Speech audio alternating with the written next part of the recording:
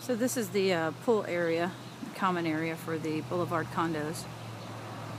Over here off of uh, Grove Boulevard, East Austin.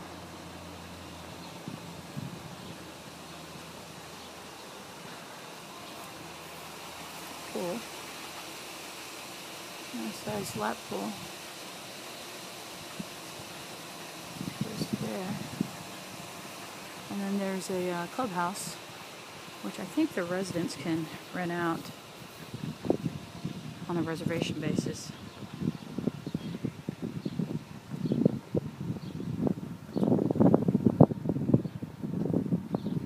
There's the entrance gate over there.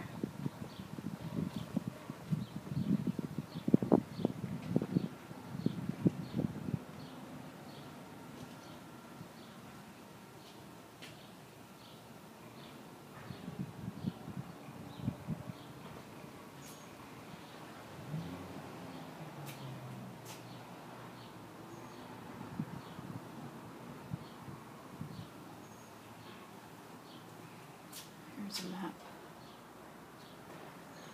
of the community.